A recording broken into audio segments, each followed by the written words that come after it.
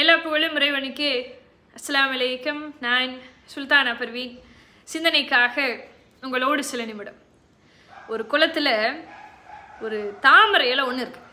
அந்த தாமரை இலையில் மூன்று தவளைகள் உட்காந்துருக்கு அந்த மூன்று தவளைகளில் ஒரு தவளை குதிக்கணும்னு முடிவு செஞ்சிருது.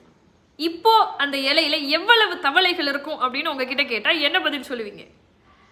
எல்லாரும் சொல்கிற பதில் தான். மூணு தவளையில் ஒன்று குதிச்சிருச்சுன்னா மிச்சம் ரெண்டு அப்படின்னு நம்ம சொல்லுவோம். நான் கேள்வியை திரும்பவும் கேட்குறேன் ஒரு இலையில மூன்று தவளைகள் இருக்குது ஒரு தவளை குதிக்கணும்னு முடிவு செஞ்சிருது. இப்போது அந்த இலையில எவ்வளவு தவளைகள் இருக்கும்?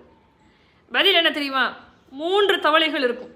காரணம் என்ன அப்படின்னா அந்த மூன்று தவளைகளில் ஒரு தவளை குதிக்கணும்னு முடிவு தான் செஞ்சுச்சு. அதை அது செயல்படுத்தலை. நம்மள நிறைய பேர் அப்படித்தானே இருக்கிறோம். ஒரு செயல் இதை தான் நம்ம செய்ய போகிறோம் அப்படின்னு தீர்மானித்ததற்கு பின்னாடி கூட காத்துக்கிட்டே இருக்கிறோம். அந்த செயலை செயல்படுத்தாமல் காத்துக்கிட்டே இருக்கிறோம். இலக்கு இதுதான் அப்படின்னு தெரிஞ்சதற்கு பின்னாடி சில பேர் என்ன நினைப்பாங்க? இன்னுமே இதில் எனக்கு பயிற்சி வேணும்.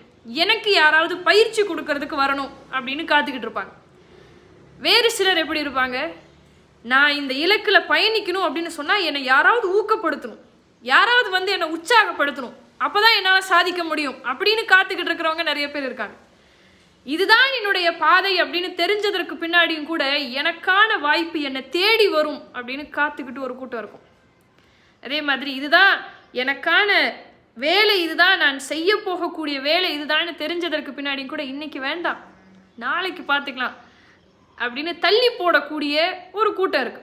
இப்போ நம்மளுடைய இலக்கு தெரிஞ்சதற்கு பின்னாடி எந்த வேலையும் செய்யாம நம்ம காத்துக்கிட்டே இருக்கிறதுனால என்ன ஆகும்? நமக்கு கிடைக்கக்கூடிய வெற்றி நம்மை விட்டு தள்ளி போய்க்கிட்டே இருக்கும்.